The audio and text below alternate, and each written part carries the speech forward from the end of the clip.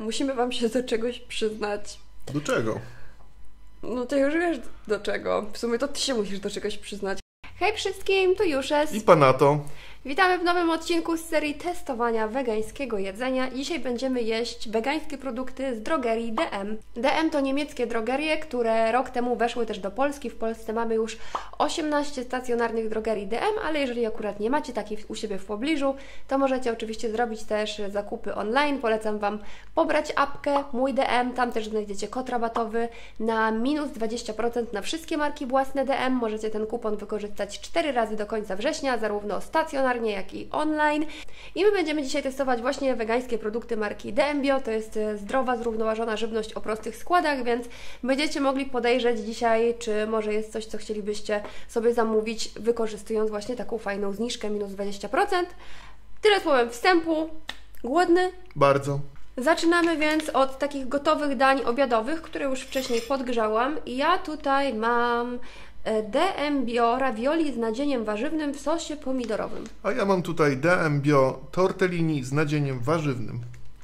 Wiesz, co to znaczy gemyse? Nie, Warzywa. A uczyłeś się kiedyś niemieckiego? nigdy.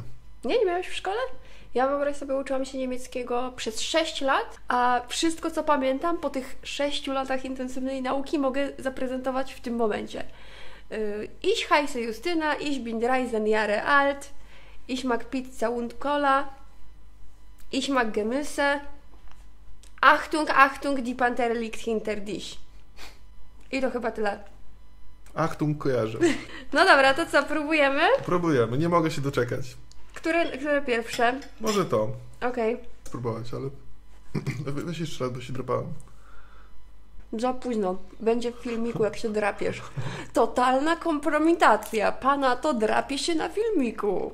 Ale bardzo dobre tortellini. Z tego, co mi wiadomo, co tu czytałam, to polecane jest, aby jeść z jakimś sosem e, bądź pesto. No i zdecydowanie się zgadzam.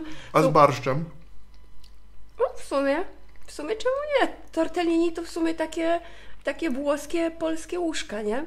Tak mi się kojarzą, no. Bo z jakimś bulionem nawet myślę też by były spoko, ale zdecydowanie są dobre jako baza, raczej nie jako takie osobne danie, no bo bez żadnego sosu są trochę suche, ale naprawdę spoko, jakby, jakby to czymś zalać, nie? Ale to z kolei myślę będzie robiło większe wrażenie, bo to już jest właśnie z takim sosikiem i to jest takie pełnowartościowe, pełnosmakowe danie, nie? I to jest takie na mokro. Myślę, że na mokro będzie lepsze. Oh yeah. No to już jest takie pełnowartościowe danie, że możesz to po prostu zrobić tą saszetę i, i mieć posiłek. Ten sos jest z saszety, tak? Mhm. To po prostu się robi albo w mikrofalówce, albo w kąpieli wodnej. Ja zrobiłam w kąpieli wodnej. A to wszystko jest, e, jakby w saszacie jest e, wszystkie, wszystkie składniki, tak? Tak, w jednej saszetce jest od razu to z sosem. A to gotowałam w garnku z wodą po prostu. No bardzo dobre. Ten sos robi robotę, sos jest dobrze doprawiony. To z barszczykiem będzie wjeżdżało idealnie. To, a to bez barszczyku. Chciałam zapytać, co Ci bardziej smakuje, ale no myślę, że to jest w ogóle niesprawiedliwe starcie. A chyba, że patrz, można Właśnie też, to. też padłem na taki pomysł. Bęk. To z tym sosem. Mmm. Ale Mhm. wymyśliliśmy. No i teraz jestem rozdarta, bo moim zdaniem najlepsze kombo to y, to, ale z sosem od tego, nie? Ale mega fajna sprawa. Tak, ja lubię takie gotowe dania, to zawsze jest fajna rzecz mieć coś takiego pod ręką. Super jest to, że te rzeczy są takie jakby stabilne półkowo. Mówi się tak po polsku, że, że coś jest shelf stable? że są Stabilne półkowo? one są stabilne półkowo, znaczy, że jak je postawisz na półce, to się nie przewrócą. Nie, tak naprawdę chodzi o to, że ym, nie trzeba ich trzymać w lodówce, więc też jest to spoko opcja, żeby wziąć ze sobą na jakąś wycieczkę czy coś, no nie, bo możecie to po prostu wsadzić do walizki, do plecaka i nie musicie tego przechowywać w lodówce. Do wojska idealne. Do wojska też można wziąć. Co mają jeść jakieś konserwy, jak mogą sobie jeść gemuse ravioli. A propos wojska, syn rolnika poszedł do wojska. I po jakimś czasie rolnik dostaje list. Tato, tu jest cudownie. Wylegujemy się w łóżkach do 6 rano. Rozumiesz? Bo rolnicy wstają skoro świt. No roz, rozumiem, no życie rolnika nie jest łatwe. No, dzięki rolnikom możemy spożywać te tutaj oto. Tak, dziękujemy rolnikom, którzy wyprodukowali pomidory, w których skąpane jest to pyszne ravioli. E, Zdecydowanie przydałoby się coś do popicia i tutaj przychodzi nam z pomocą smoothie. Ja mam smak jabłko czarny bez, aronia i malina. A ja mam tutaj jabłko, limetka, mango i marekuja. Cheers! Cheers. Bardzo dobre. Moje też bardzo dobre, nietypowe połączenie, powiem szczerze. Że czarny bez, aronia. A co to jest limetka? Limetka to limonka po prostu? Słowo limetka kojarzy mi się z takim innym słowem, którego nie będę wspominał tutaj. Limetka. A, limetka to jest synonim limonki. Myślałam, że to może jakaś inna odmiana jakiegoś cytrusa, ale limonka równa się limetka. Ale brzmi fikuśnie, nie? Limetka, na na na na. To co, wymianka? Tak, a wiesz, a propos marakui, mam taką ciekawostkę, że słowo marakuja pochodzi z, z języka indyjskiego, marauja, tak, e, tak to po indiańsku brzmi, i oznacza dosłownie owoc jedzony jednym haustem. A to ciekawe, bo w sumie marakuje ciężko zjeść jednym haustem, bo ona ma taką grubą skórkę, więc trzeba ją rozkroić i Ale że jak już ją rozkroisz, to tam w środku jest ten taki żel, który tak A, jakby, okej. jednym haustem. Okej. Ja jestem ogromną fanką marakui, więc dla mnie ten smak wygrywa, ale ten też jest naprawdę bardzo dobry. Teraz sprawdzimy sobie pasty na kanapki. Ja mam krem kanapkowy Toskania. A ja mam wegańską sałatkę z wędzonym tofu i papryką. A, czyli to nie jest pasta. To jest taka sałatka, e, to jest taka pasta sałatka. To brzmi fajnie. Brzmi z tofu, a to jest z ziaren słonecznika. To jest, otwieranie takich słoiczków jest takie satysfakcjonujące, co? Tak, a zobacz, to jest naprawdę jakaś sałatka. Mm.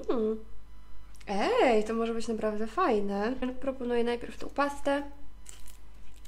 Apetyczna konsystencja. Mhm, tak. Smacznego. Jest bardzo przyjemnie kremowa, taka wręcz jakby taka piankowa, piankowo-puszysta taka. Czuć, czuć intensywny smak warzywek, jest naprawdę dobrze doprawiona. Wyborna pasta. Wyborna.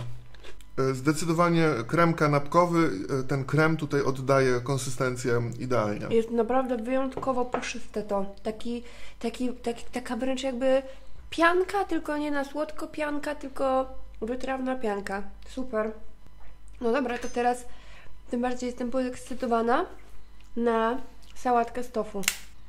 Tutaj mamy dwie szkoły. Jedna szkoła to łyżeczka, druga szkoła to napieczywko. Mmm, mega dobre. To smakuje wręcz jak jakaś taka potrawka, jakby takie leczo z tofu. Właśnie też chciałem powiedzieć, że przypomina mi leczo twojej mamy. Smakuje jak zblendowane leczo z tofu. No ekstra sprawa, że otwierasz sobie i masz taki pożywny lanczyk. I smak mamy. I też jestem pod wrażeniem, że te wszystkie rzeczy z jednej strony są, wiesz, bio, wszystko proste składy, zdrowe jedzenie, ale są też spoko doprawione, bo czasem takie bioprodukty są totalnie takie mdłe w smaku, że jak coś otwieram, to zawsze muszę jakoś doprawić po swojemu, dodać soli, dodać pieprzu, bo mam poczucie, że jest takie to bezsmakowe, a tutaj są naprawdę intensywne smaki, więc ktokolwiek robi te, te DM Bio kompozycje, naprawdę, naprawdę ma dobre poczucie smaku. A wiesz, co robią lekarze w kuchni? Leczo. Przechodzimy teraz do czegoś bardziej na słodko, ale musimy Wam się do czegoś przyznać. Do czego? No to już wiesz do czego. W sumie to Ty się musisz do czegoś przyznać. Chciałbyś coś powiedzieć? Ja się do niczego nie przyznaję. Chciałbyś coś powiedzieć na temat stanu tego słoika? No tak się złożyło, słuchajcie, że zjadłem to zanim się włączyła kamera. Wyobraźcie sobie, że patrzę na Pawła i widzę, że on tak ze smakiem coś wcina, wcina, wcina. Podchodzę, patrzę, a on opytolił cały słoik tego kremu, który miał być do filmu, do testu. Po pierwsze, nie zjadłem tego jednego dnia, tylko jadłem to na raty. A po drugie, bardzo tęskniłem za Nutellą. A to mi to przypominało. Ogólnie to wydaje mi się, że Twoja recenzja jest już raczej zbędna, bo stan tego słoiczka wskazywałby na to, że całkiem Ci smakowało. Tak, tak, jest to najlepsza recenzja. Smakuje jak wegańska Nutella, smak dzieciństwa, e, tyle że bez mleka. A to jest nie Nutella, tylko to jest DM Bio, Szoko Kreme, Nus, Nougat. Ja tak dawno nie jadłem Nutelli, że może e, mi to tak przypomina, bo po prostu wiesz, taki krem e, czekoladowo-orzechowy. No dobra, no to rozumiem, że ty już cię najadłeś, ty nie musisz próbować. Ja zjem resztę, bo zostały tu dosłownie jakieś trzy łyżeczki do wygrzebania, więc to już dla mnie, tak? A daj trochę. Na, na, na, pyszna Nutella. To co, smacznego? Smacznego. Mm. Mam déjà vu. No, pyszny kremik, ale nie smakuje do końca jak Nutella, bo no, w Nutelli jest jeszcze trochę takiej jakby, takiego jakby mlecznego posmaku, a to ma bardziej taki smak takiej gorzkiej czekolady i orzechów, a nie ma tego takiego mlecznego posmaku, jaki ma Nutella, ale wciąż pyszny kremik. No i brudzi jak Nutella. Byłby naprawdę wspaniały do jakichś naleśniczków, do pancake'ów do posmarowania, do owsianki, Możesz, gdyby skorzy- było go więcej. możesz skorzystać z promocji 20%. Następny produkt może wydać się odrobinę kontrowersyjny, no bo od lat jesteśmy weganami i teoretycznie no, nie powinniśmy jeździć zwierząt, ale no, nie mogłam się powstrzymać i jednak zdecydowałam, że przetestujemy krakersy zwierzaczki. Niezły prank. Daliście się nabrać, że będziemy jeść prawdziwe zwierzaczki. Dałeś się nabrać? Myślałeś, że Tak, teraz... myślałem sobie, o, zwariowałaś? Przecież jesteśmy weganami, a będziemy jeść zwierzaki? O, one są takie pękate! Kurwa, co to jest za zwierzę? Ja mam tu słonia. Co to jest za zwierzę? Nie rozumiem. Tutaj sprawa jest jasna, to jest lew, hipopotam, słoń, a to co to jest? To jest lwica? Może to jest tygrys. Może to jest jakieś niemieckie zwierzę, którego nie znamy.